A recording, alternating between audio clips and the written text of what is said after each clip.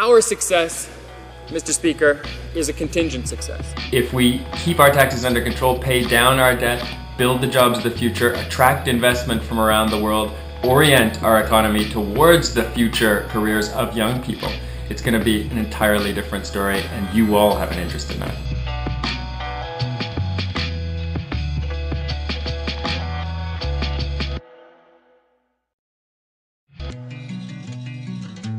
Hi, I'm Chris Alexander, Member of Parliament for Ajax Pickering, and it's a busy week.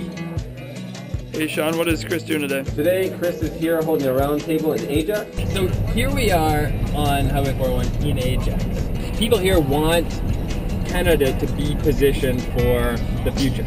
So it's a fragile world out there, but we have some fundamental foundations of success here uh, that we need to keep building on. Today we are at Coffee and Conversation in Claremont, a neighborhood in the northern part of our riding. Which brings us to immigration. We need to make sure people come with the right skills, have their credentials recognized quickly because they've started the recognition process earlier. So today we're making an announcement. It's on behalf of the Minister of Transport, Denis Lebel, about federal funding for a new interchange, a cloverleaf on Highway 407. Exciting announcement, big piece of infrastructure. But what we're not going to do is put in place a $21 billion carbon tax that would increase the price of gasoline, obviously, but also of food and just about everything.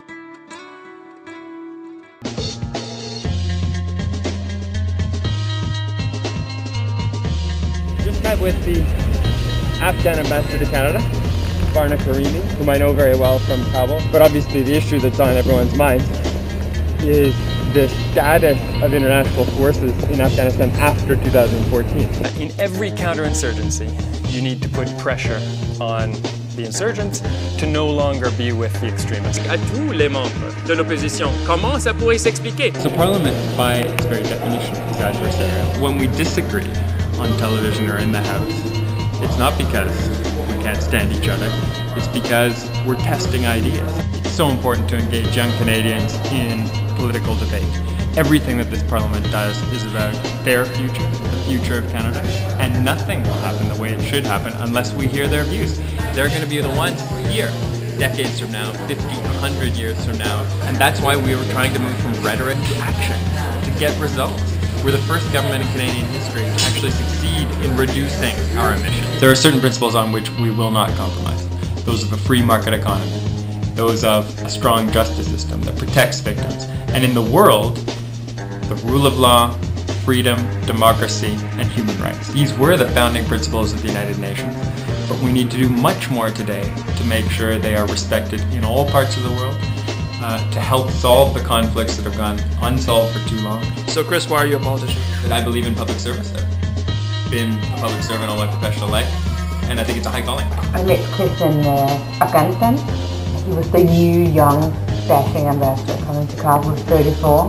Well, diplomacy at its best is always about politics. So transitioning from representing our country's politics and trying to understand the politics of other countries to being part of our country's politics wasn't that difficult.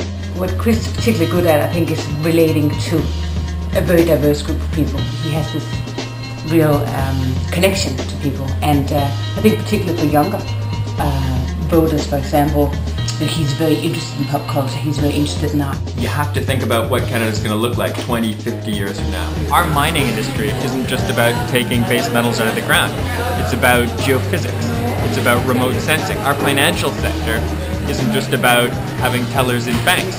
It's about financial risk management. It's about econometrics. And these are areas where Canadians excel. But we need to go beyond that. We need to invest in emerging fields like nanotechnology, like quantum technology, like advanced forms of manufacturing. Canada's parliament has been here since the 1850s, since before the American Civil War, since before Germany and Italy were united. But we are still a very young country in one very important sense, and that is in our openness to new ideas. We debate them in this parliament, we engage with them with Canadians across the country, uh, and we're implementing them. We have the opportunity to implement them, almost like no other country in the world, to build the economy of the future, where the young people of today are going to be playing a central role.